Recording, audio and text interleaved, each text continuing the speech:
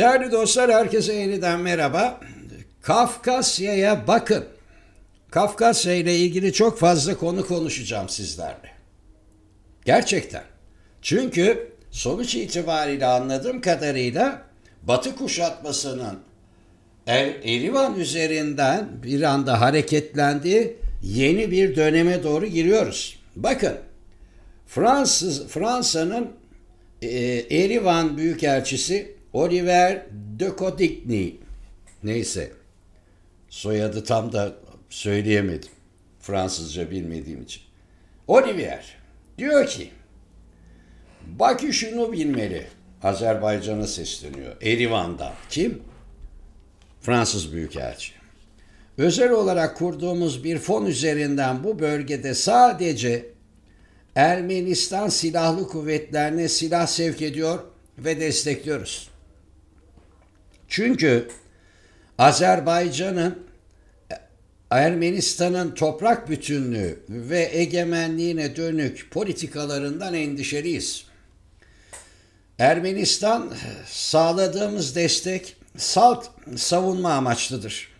İddia edildiği gibi Ermenistan'ı Azerbaycan'a dönük bir saldırıya hazırlamıyoruz. Bir örnek vereyim diyor. Ukala adam. Ermenistan'a çok güçlü hava savunma sistemleri aktardık. Aktarmaya da devam edeceğiz. Ama Ermeni hava sahasına girerseniz bu sistemlerle karşılaşırsınız. Girmezseniz bu sistemlerin size bir zararı olmaz diyor. Ne güzel. Biz de Amerikalılara bunu söyledik S-400'ler için ama bizi F-35'lerden çıkarttılar. Almayacaklar onu söyleyeyim yani boş yere o laflar yazık. Memleketin kafasını bulandırıyor bazı gazeteciler. Geçin. Desteğimiz artarak sürecek diyor. Destek artarak sürecek. Yani diyor ki Fransız biz buraya el koyduk. Biz buraya el koyduk. Öyle fazla etrafımızda köpraşmayın. Dolaşmayın.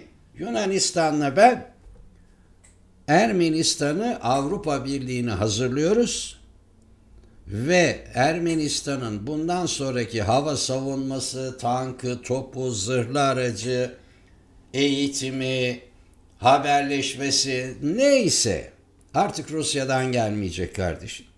Bizden gelecek diyor.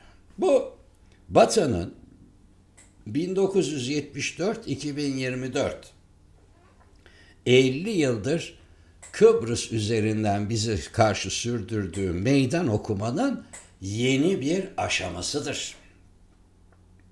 Bunları ben hep anlatıyorum. Köz dinleyenler çok.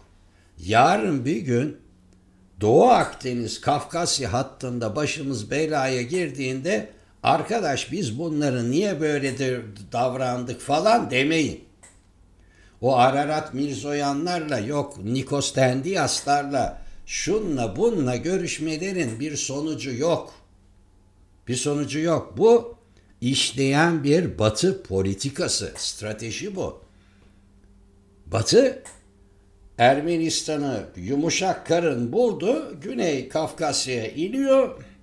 Yarın bir gün Azerbaycan'ın Batı ile ilişkisini, Türkiye'nin Orta Asya ile ilişkisini belirleyecek kilitleri oraya yerleştirecek.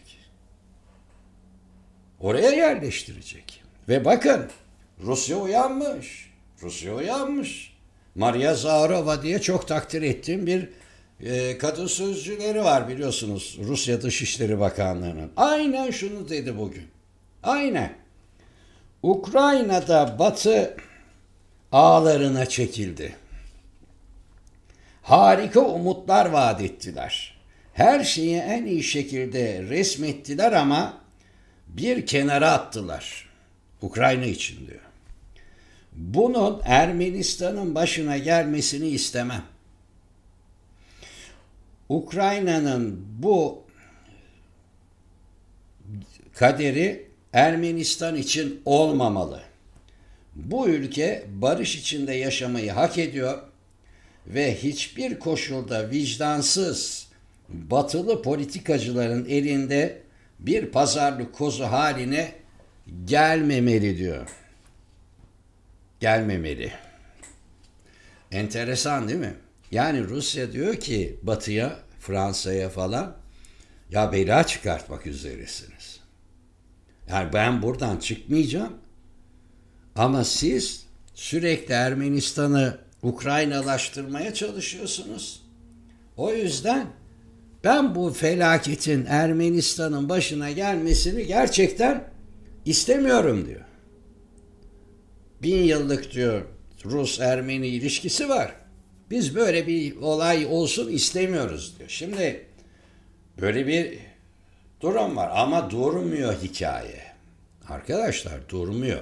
Plan alınmış, karar alınmış. İki gün önce kim vardı Erivan'da?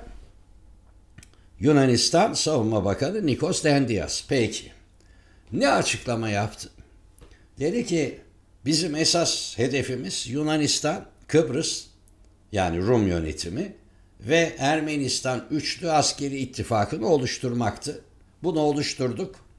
Bundan sonra üçlü ittifak olarak devam ediyoruz ama buraya bu üçlü ittifaka istedikleri takdirde Fransa ve Hindistan'ın da davet edilmesinin uygun olacağını düşünüyoruz dedi. Yani adam diyor ki ben esas diyor Amerika'dan aldığım talimat doğrultusunda bu üçlü ittifakı hani nasıl İsrail'de yaptıysa bunu yapıyorum ama araya Hindistan'la Fransa'nın da gelmesi şu Türk ittifakına karşı fevkalade iyi olur diyor.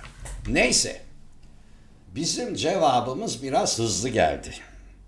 Daha doğrusu Pakistan'ın da cevabı hızlı geldi. Daha böyle Hindistan lafı edilir edilmez dün e, Azerbaycan Savunma Bakan Yardımcısının e, misafiri Pakistan Silahlı Kuvvetleri Müşterek Kurmay Başkanı Orgeneral Ahsen Gülres'in Güles Res'in başkanlığındaki bir heyetti.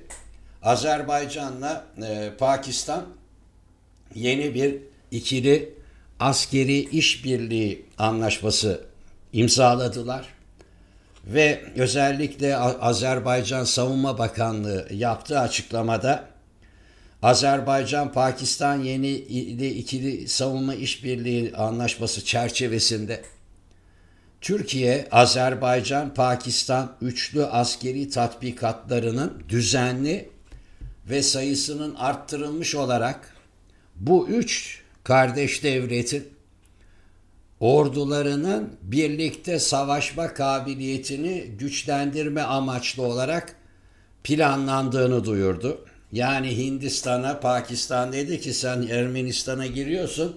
Aha ben de buradayım. Türkiye ile beraber buradayım. Daha orası biterken bu sabah e, Azerbaycan Savunma e, Bakanı e, Türkiye'ye geldi ve Yaşar Güler'le çok önemli temaslar ve toplantılar Zakir Hasanov e, toplantılar yapmaya başladı. Ve e, Zakir Hasanov zaten dün yaptığı açıklamada pardon e, Ceyhun Bayramov Azerbaycan Dışişleri Bakanı dün yaptığı açıklamada şöyle demişti. Bakın herkes her şeyi yapabilir, her türlü ittifak kurulabilir falan ama demiş dün. Onlar da takip ediyorlar benim gibi tabii. Azerbaycan'la Türkiye arasındaki ittifakın dünyada bir başka örneği yoktur kardeşim. Siz bu ittifakı çözemezsiniz demiş Ceyhun Bayramov. Kendisine teşekkür ediyoruz. Bu arada Türkiye ile Azerbaycan Özel Kuvvetler ve Komando Birlikleri Türkiye'nin misafirliği, ev sahipliğinde Cinnah tatbikatına başlamış durumda. Üçünde başladı. 16'sına kadar Eğirdir'de devam edecek. Bu tatbikat bir yıl Türkiye'de yapılıyor. Adı Cinnah tatbikatı oluyor. Bir yıl Pakistan'da yapılıyor. Adı Atatürk tatbikatı oluyor. Böyle. Hayat böyle gelişiyor bu bölgede. O yüzden takip ediyoruz bütün bunları sizler için. Hoşçakalın.